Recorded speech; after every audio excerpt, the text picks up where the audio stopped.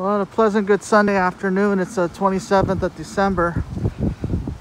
As we say goodbye to 2020, this is our last weekend of the year.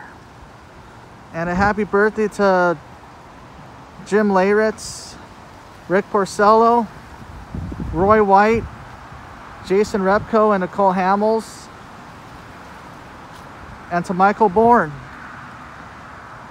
Uh, Jim Leyritz, of course, had a lot of clutch postseason home runs while with the Yankees. Yeah, he also played with the Padres and the Angels and the Dodgers as well.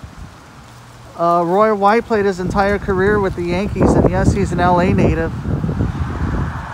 And uh, Cole Hamels is a San Diego native.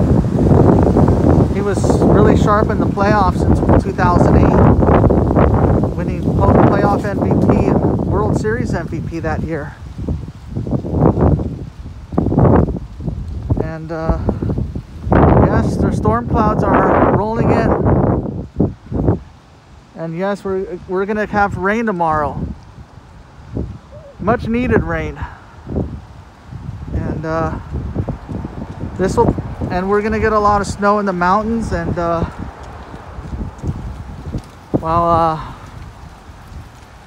the Rams have a big game today against the Seattle Seahawks. And I hope that the Rams make the playoffs and Lakers take on the Timberwolves tonight. Let's hope that both LA teams win today. Uh, meanwhile, I'll catch you all later.